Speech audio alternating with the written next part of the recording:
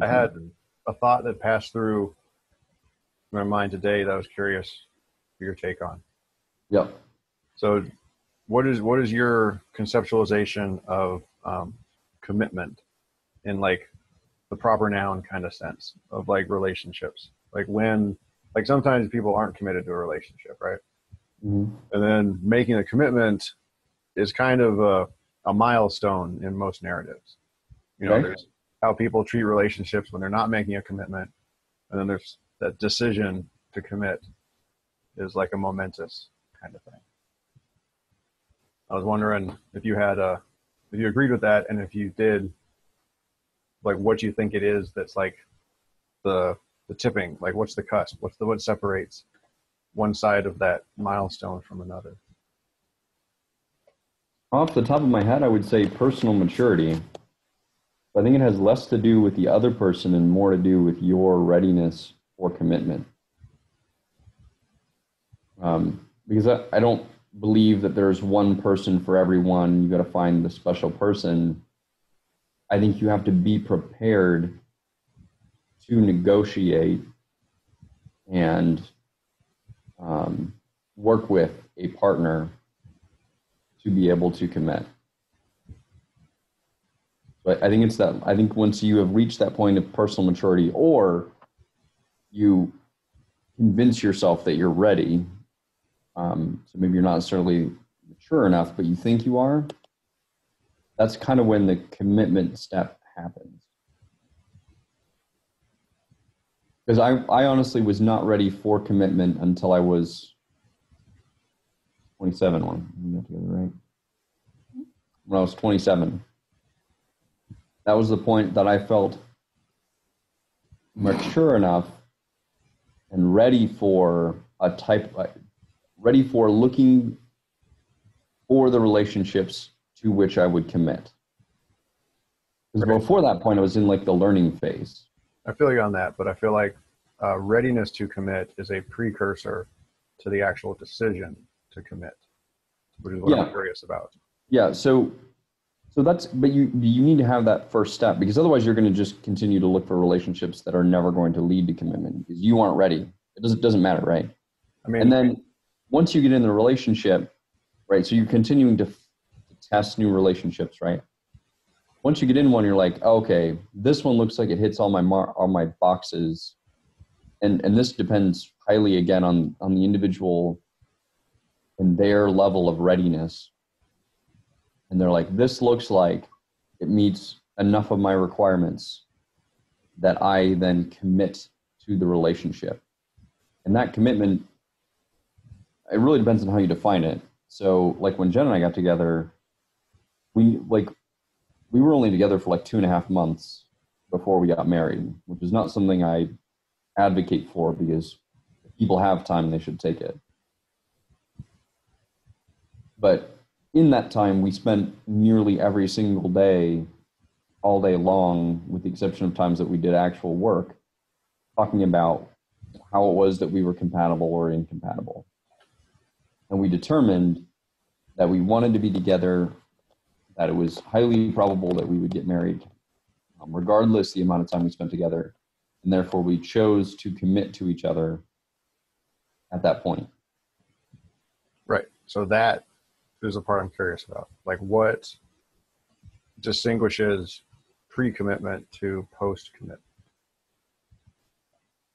The choice to commit. It's really just the choice. No, Yeah, because like that's not that's cheap. Like anybody can say, "I commit." You know, they can like make a choice, and then it turns out, "Oh no, you sucked at that. You didn't actually do it." Like, what did they do wrong? If like after the fact, you can say, "Nah, you didn't do it right." Well, again, I, I think it has to do with with that that personal maturity. Um, when you make the choice to commit, what what I think you're doing in your head is that you have weighed the odds based on the information you have available to say, um, I think this relationship will last however long, infinity, essentially, until we die. And once you've made that decision, or, or you've, you've processed that information, you're like, okay, I think this relationship will last. Then you ask yourself the question, am I ready to be in one relationship forever? And then you, if you answer yes to that question, then you get to the third question is, am I willing to negotiate things that will be less than exactly what I want? So basically, is there mutual benefit for me in engaging this with this relationship and negotiating on things that maybe I want to do, but the other person doesn't want to do? And that at that at that point, you basically, I, I guess, you basically convince yourself that commitment is worthwhile. That making the promise to this person provides the mutual stability where you don't have to I don't know, like to me commitment is is not about like the formality of marriage. Like there in the military, people get married more often than not because it's the rules require it, right? If I want my family to move with me, and especially when we were both active duty, if I want that to be consideration, we have to be married.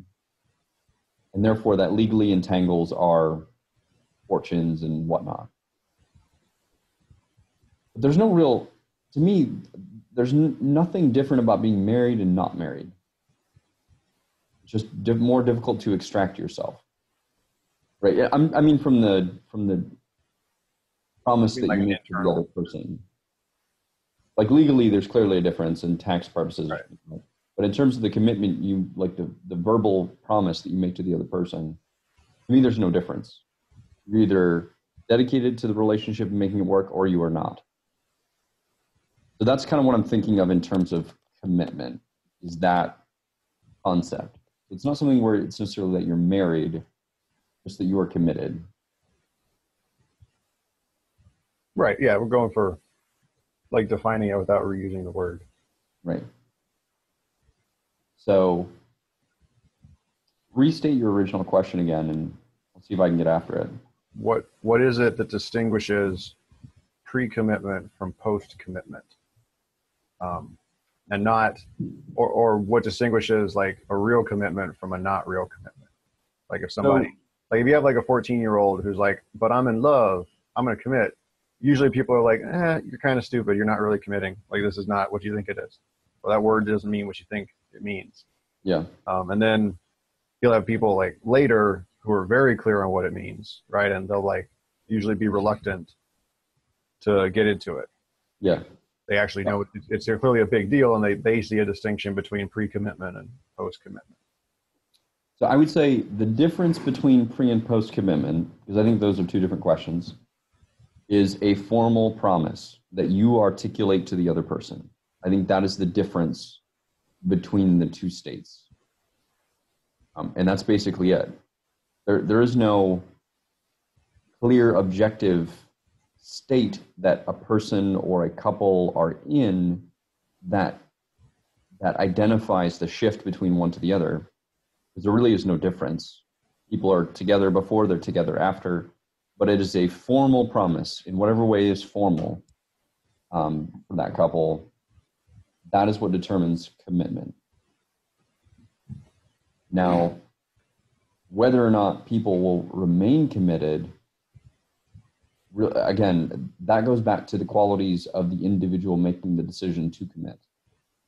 Can you unpack the word formal a little bit? Because I, I think you don't mean what I would think formal would mean, which would mean like outside structures. Like marriage is a formal structure. Like it's defined by a system.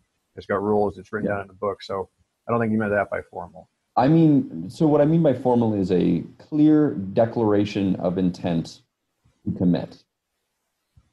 So, like, Possible to do that wrong though? Like, is it possible to think that you're being doing it right and making a commitment, and then later to be like, oh, I didn't actually like mean that, and it turns out you did it wrong? Or is the So, so I, yes, I, I think that is.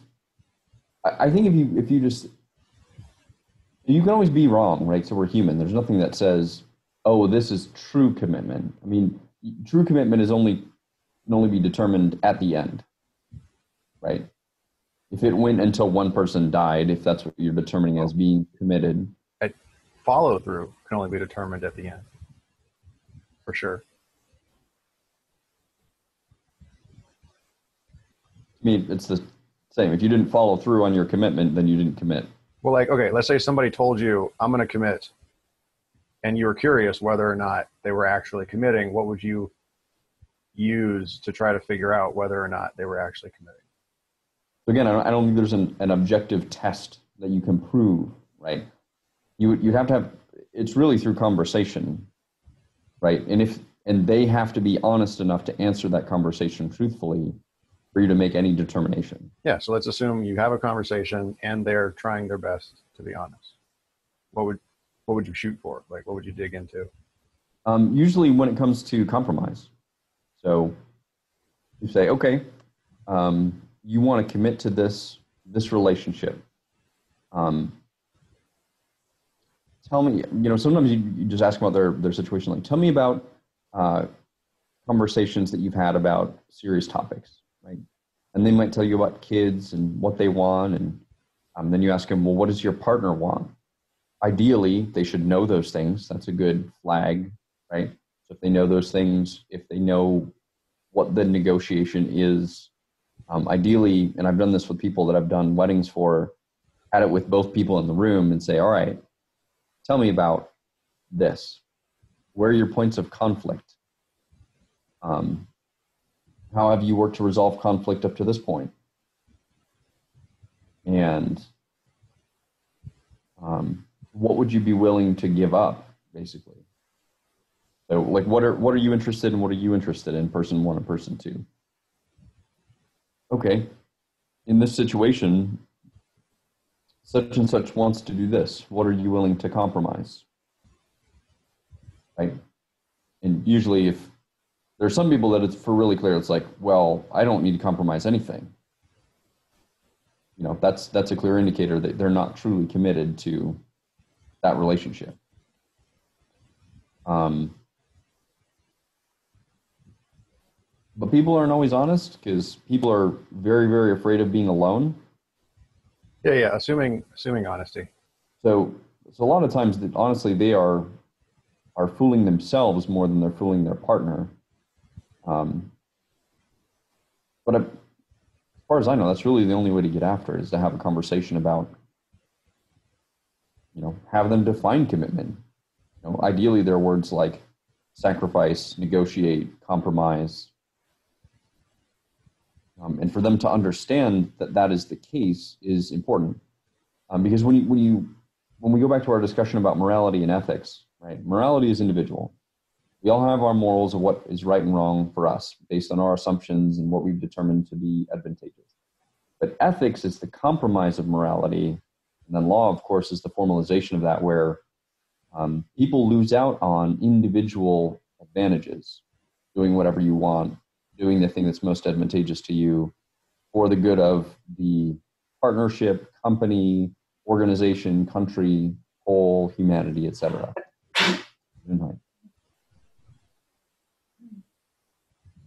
That's what commitment is really all about. I'm committed to being, you know, whatever it is, a, a citizen or um, partner.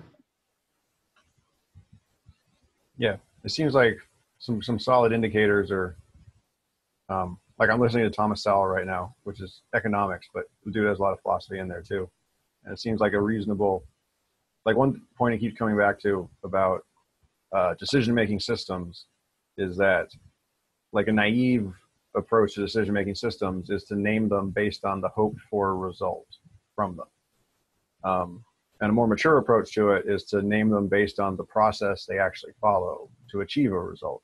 Right. And it seems like that was rolling around in my head as like a way to sort of understand commitment. Like it seems like people that are, you know, you sort of describe them as mature or or worldly or wise or they've been through the shit or something. Like those people, they tend to talk, I think, like you were saying, like more in terms of like what am I gonna do? And then like the approach where it seems like they're young or they're inexperienced or immature, they tend to talk about what they expect to get out of it. Like, like what the end result will be, right? Like if someone says, you know, we'll be together forever, Yeah. you're like, mm, that. I mean, maybe, Probably but not. that's thing. If that's the only thing you're talking about, then like it means you don't quite know what you're talking about because Yeah. people that have been through it tend to talk about it less like we'll be together forever and more like I'm willing to compromise and not get exactly what I want. all And the it's yeah, and that it's work. And it takes energy. So um yeah, so I, li- I like the, the the phrasing of the process because the process of commitment as opposed to the outcome of commitment the process of commitment is work discipline compromise that's the process so if you describe commitment by the process that's how you would describe it um, Right. Like you have to reaffirm it. right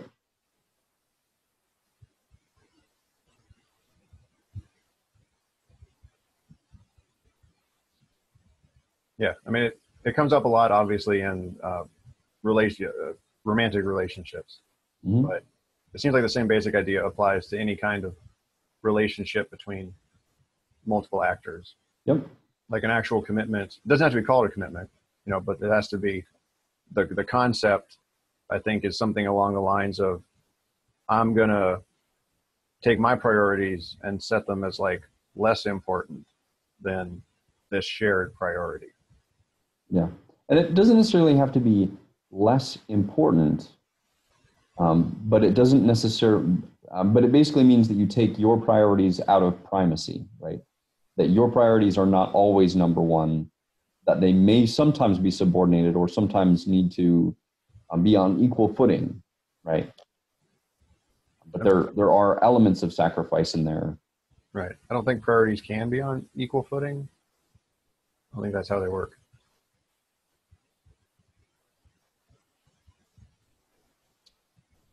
Um, so I, I get what you're saying. In a given moment, you have to choose one thing, right? Um, but when you think about like so competing priorities, so if you have an introvert and an extrovert, uh, you can have you can both have the priority to um, recuperate energy, right? And that means that for the extrovert, they want to go out, and for the introvert, they want to stay in, roughly. And so there needs to be a balance. It doesn't need to be a perfectly harmonious balance, but there needs to be a balance where both people get some of what they want. That's what I meant by by equal. Um, not that one automatically, you know, trumps the other. Like, oh, we're always going to go out or always going to stay in because that's what I need. But that there there will be a match between that priority of going out and staying in to a degree. Yeah, so that's good. That's a good segue. Something that I wanted to run past you to get your take on it is a concept that I picked up from politics and I find useful in a bunch of other places is the idea of an intangible third party that gets like abstractly created when there's an agreement between multiple parties, because um, like that's sort of how uh, like you know politics can work, right? Like the people as a private noun is like an abstract um, power entity that can be created when you need it and then destroyed when you don't, so that you can uh, put the power somewhere. So, um, in the sense of committing to something, it's kind of like uh, the relationship itself becomes a thing that has priorities, and then its priorities are higher than either individual's priorities. Mm. So it's not that that's why like you two are on an equal footing, but that's because you both subordinate your priorities to the relationship itself, like to the maintenance of the relationship, not Right. to. And like that's where I think a lot of people go wrong is they just think of it as two parties. They're like, there's my priorities and your priorities, and we, something's got to give. And you get like Elon Musk's "I'm the alpha" quote, Yeah. um, where that's where there's only two possibilities, two actors. But if there's a third entity, Right. you know, like the relationship, like an abstract idea that whatever helps the relationship can take priority over either of us. Yeah, and that goes back to finite and infinite games. In a finite game, um, you either win or lose. But in an infinite game, both parties get to keep playing. So um, that's an interesting framework of a intangible third party. Yeah, it's a good way to put it. In a sense, the game itself takes priority over the players. Mhm. That if you have to give something up to keep the game going, you do it. Yeah. Yep. I was actually just talking about finite. So apparently Simon, Simon Sinek has a new book coming out in November, and it's about finite and infinite games. Okay. And um, Colonel Halfhill, who works here and does leadershipy stuff, apparently knows him, like has his number and can text him. Um, and she said she was going to give him a hard time for not letting her know that he's writing another book. But uh, she thought it was going to be about like millennials or safety. Um, I'm not sure safety in what regard, but um, she saw that. I'm like, oh yeah, I'm familiar with finite and infinite games, and I don't think he's necessarily gone into it that much. But you know, we've discussed there are a bunch of other people that have talked about finite and infinite games. Yep, I've definitely seen it, you know, pop around the thought space. Yeah, that's what I was. That's what I was telling her. I'm like, there are a lot of people around that space that are talking about that concept. Yeah. It hasn't. It's not mainstream yet, um, but it is among the people who are a little bit mainstream. It's sort of like uh, instrumental music, right? Like the public doesn't listen to instrumental music, but musicians listen to instrumental music. Right. It seems like such a straightforward concept. Like, I, it's a great. I like the labels for it because it's you know game theory and very you know sort of academic and esoteric, so it appeals to me. But it's something that I've been thinking about for a long time in terms of economics when it comes to uh, quarterly returns.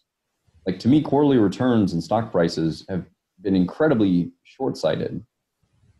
Um, and it, it's interesting because they were just set in place to guarantee some sort of um, transparency, right, for organizations to help prevent things like crashes. And yet, at the same time, they incentivize certain behaviors that cause more short-term behavior. So, I've always been interested in the companies that have much more longer-term approaches to business. So I'm interested to see kind of where people go as this takes this idea, this terminology takes hold of the infinite games. Yeah. I think it's a it's a very general purpose model. Like once you Yeah. once you grok it, you're like, oh, that explains so many different things. Yeah. Like that structure. Well, and, and like the whole thing with with the church and humanity, like that's the ultimate infinite game. Yeah. Last question style. Yeah. So how do we how do we perpetuate the game of humanity? Yeah, that's just that's the, the persistence of meaning thing. It's Yeah. just, you know, the goal is just, um, like when I was in grade school, we would take these little strips of paper and make them into links, and then we'd make like a chain, a paper chain, hmm and it's like, how long can you make this chain? It's basically just that's it. It's like, what's the purpose of life? It's like, well, you know, you just you just keep this like chain going. Like you, somebody handed you the chain, and you keep adding little links to it, and then you hand it off to somebody else, and you just never stop doing that. You just do it forever.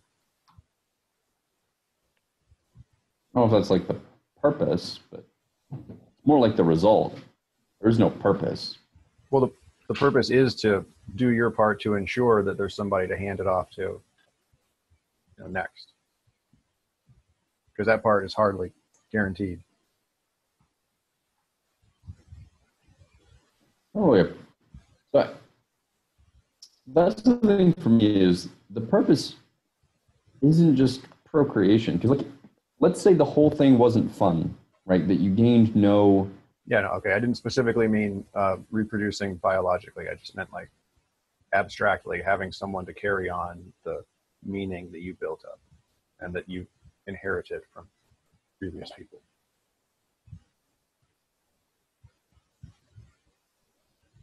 It's, kids are playing with your. Like, I don't remember the name of the story, but my brother keeps telling me a synopsis of it. So I guess I have to read it someday. Where there's like an asteroid or something headed for the Earth. I don't remember exactly what. Oh no, or maybe it was like a gray goo outbreak.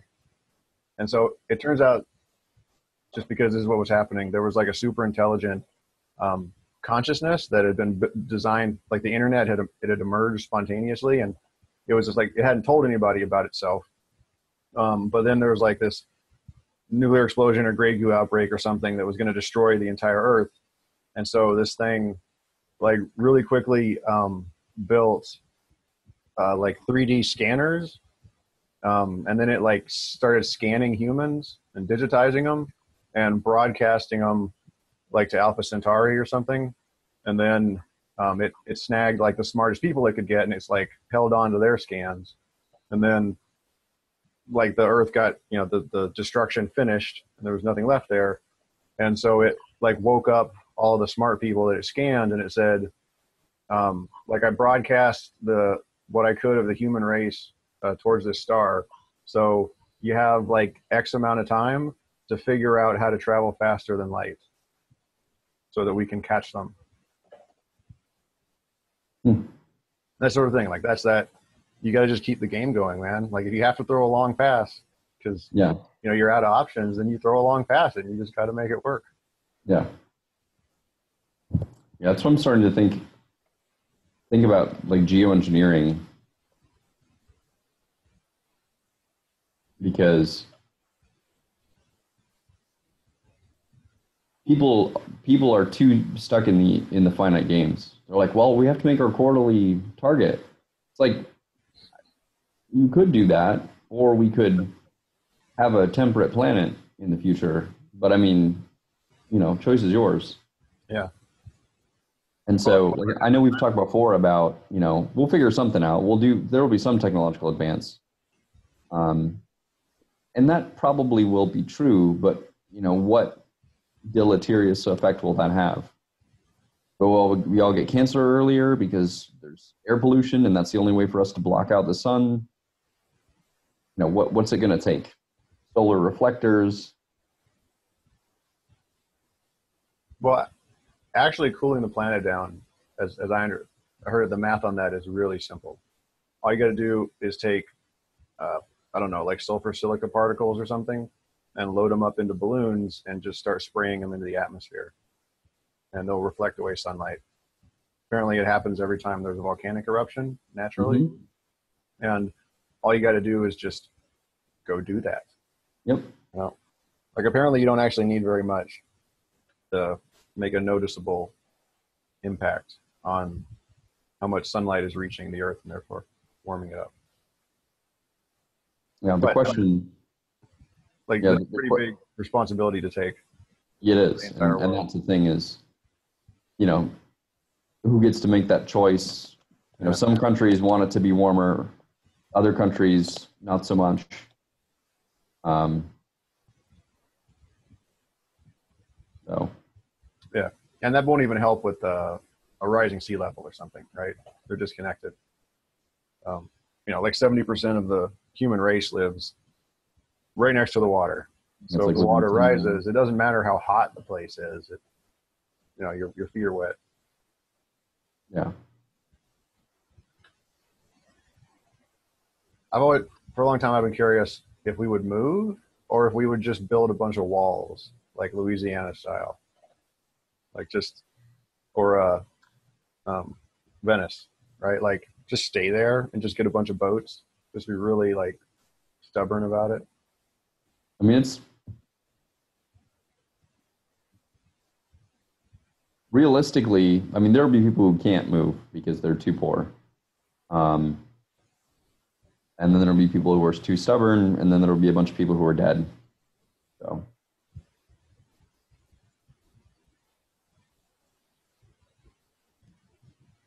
you know, like what happens to the foundation of skyscrapers in New York when all of a sudden everything is flooded? How long do they hold up? How do those buildings hold up? What's the power infrastructure like? How do you redo that? You can. I mean, there are ways. But Maybe you can just get like big sticks and prop them up. carbon carbon nanotubes, man. Yep. Maybe you can just put like a really big balloon and tie it to the top of the building. Good. But anyway, we'll see. We'll see how that goes. Well, that's one of the things is I do think we need to get smarter about it. Yeah, I think we're kind of past the whole like do something about it option though, right? So the Paris Accords, did you see like recently they they put out benchmarks for the Paris Accords, and only five countries out of the whatever however many forty something are even halfway to their mark, and they're supposed to be at their mark in two years for carbon emissions. That's, I can't say that's surprising. Yeah, not at all. And the Paris Accords were actually based on the best case scenario, which is if they met these things, that the Earth would recover in the best case. Yeah, like I said, I think just from a you know layman's following of the subject, it sounds like we're kind of past the part where we're going to be able to avoid um, side effects. Yeah.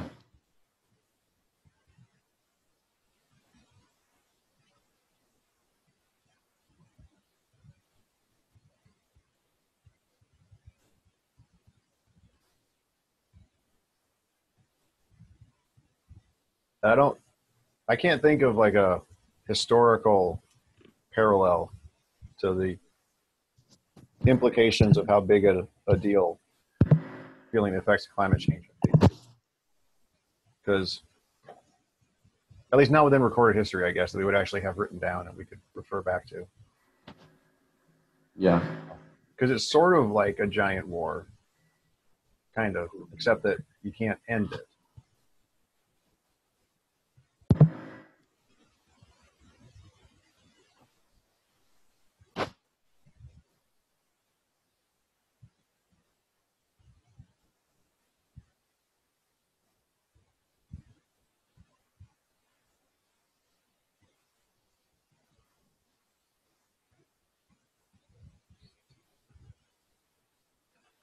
Like, I'm curious. Um, you, you've heard of the Fukuyama's "The End of History," right? I've heard of it. I don't think I've read it. Um, read it back during the academy. His his basic thesis is that liberal democracy is the end of history, you know, in, in all capital letters, in the sense that history is the pro- procession of one political system after another trying to find a, a better one. Then liberal democracy is the end of that process, so that's the end of history.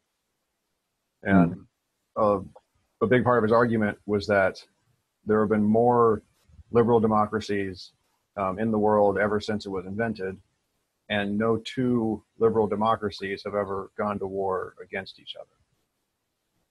Hmm. That's the majority of the argument, as I remember it.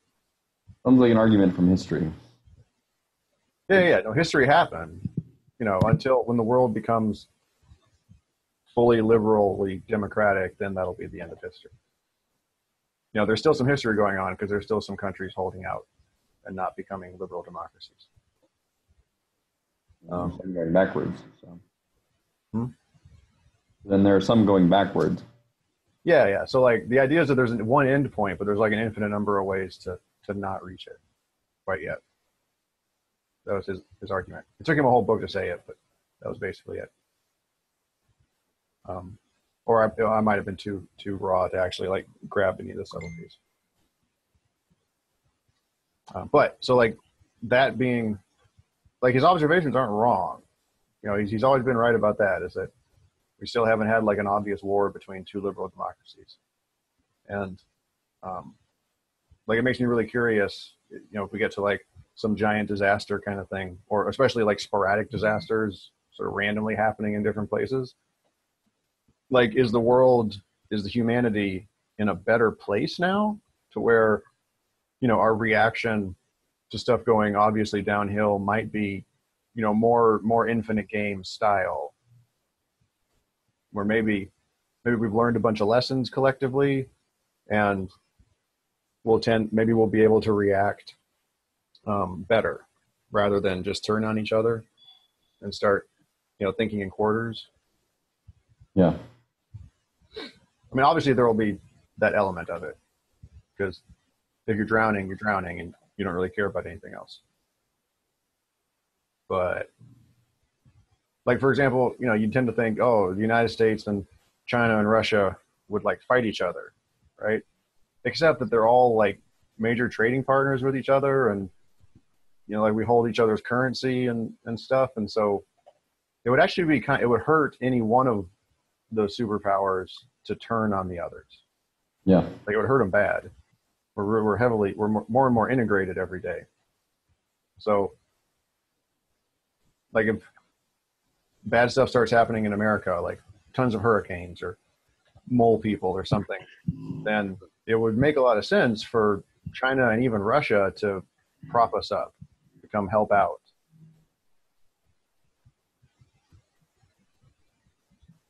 I'm just curious if we're like if that if that end of history argument has some actual predictive power to it like if we're actually in a different place having a lot of liberal democracies then